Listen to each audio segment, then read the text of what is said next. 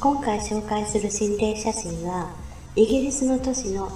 マックルズフィールド出身の38歳のカレン・エワートさんが撮影したものなんです。双子の女の子を妊娠していて赤ちゃんの1人は無事に産むことができたんですがもう1人は死産だったんです。この写真はその死産になってしまった娘さんを撮影したものだとおっしゃってるんですね。彼女の家の庭を撮影していますが中央に女の子の足だけが現れています。いつも女の子は母親であるカレンさんのそばにいるとのことでこの写真を見た時に娘であると確信したそうなんですね。いろいろと賛否両論がある心霊写真です。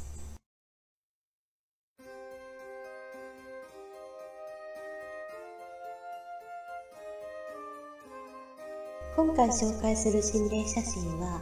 ウクライナの小さな村の教会に頻繁に現れている幽霊の3枚の心霊写真なんです。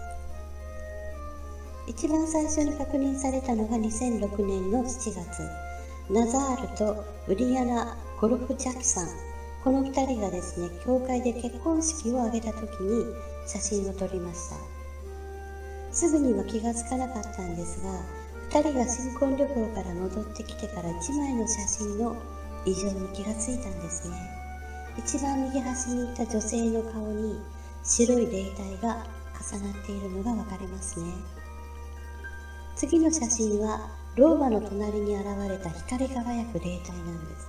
す。その老婆は結婚式を挙げた夫婦のどちらかの祖母だったとのことなんですね。その名前はイバンカさんという方でこの霊体が現れて最初のクリスマスの日に亡くなったそうです。そして3枚目が写真の左側に現れている霊体です。子供たちのそばに現れているんですね。このウクライナの幽霊と呼ばれる霊体はいつも光り輝いているので聖母マリアではないのかという意見も出ているそうです。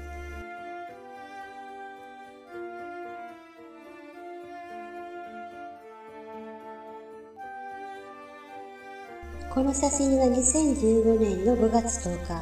ロシアのカチカナルという場所での火災現場で撮影された写真なんですね。扉の下の方を見てください。小さな男の子の姿が浮かび上がっているんです。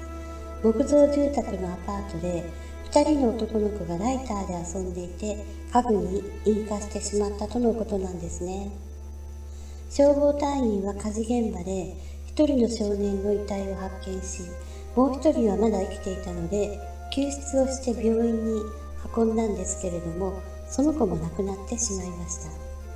そしてその後にソーシャルメディアにこの写真が掲載されたんです。子供の幽霊が写っていると騒ぎになりました。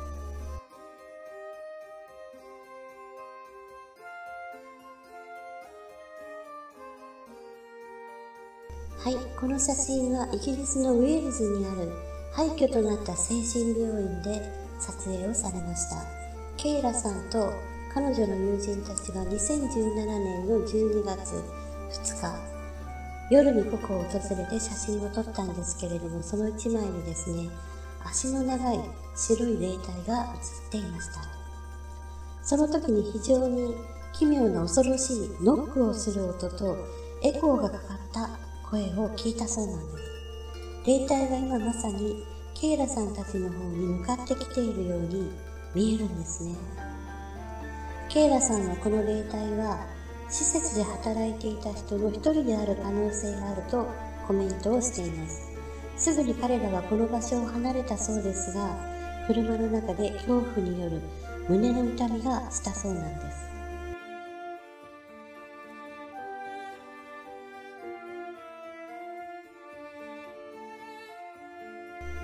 この写真はですね、あの、とても恐ろしいものなので、閲覧には気をつけてください。これはロシアのクラスノヤルスクという場所の高速道路の事故現場の写真なんです。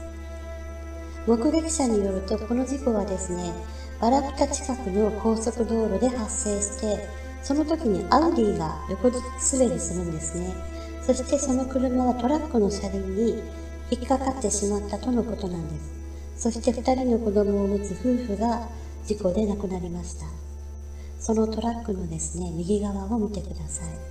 骸骨のような人影が映っているんです。そしてカメラ目線なんですね。そこを拡大してみるとなんとその骸骨のような顔の下に女性の顔も浮かんでいるんです。ロシアの霊能者の方が言うには男性は穏やかまたはかなり悲しい顔をしている。そして女性の方の顔は怯えていますとのことだったんですねここまではっきりと表情が出ているのは死後間もない状態で写真に現れたからかもしれません。